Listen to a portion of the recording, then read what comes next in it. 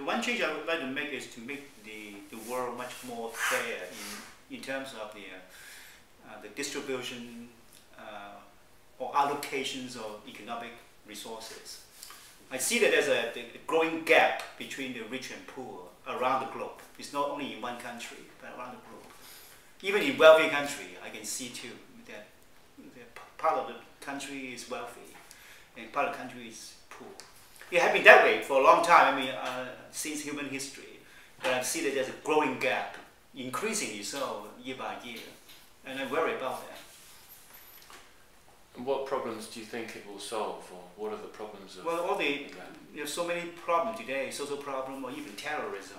All these actually, to me, in my mind, they all originate, or at least caused by this uh, uneasiness or anxiety about wealth allocation. And it's, it's the, the rich become richer. They have all the resources, and they get more. And then the, the poor getting less and less every day. It's the it's the increasing gulf between the two that worry me. It's not that, that there's a rich and poor, that's always that way. But in the past, it's something like this. Now it's getting this. And there's fewer and fewer for the rich, and more and more for the, for the poor.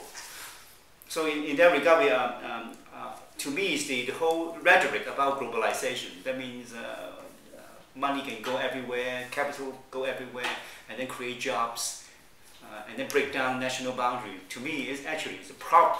It caused this kinds of a widening gap between the rich and poor. So we have to rethink about. I mean, we, we are doing this globalization since uh, the end of Cold War in the eight, since the 80s. So I think it's time after 25 years, 30 years, we have to think about. Uh, we should maybe have to rethink about the whole economic system. And I think it's the most, to me, it's the most important question that we have to answer in the 21st century before we get into a, another political disasters like the Second World War.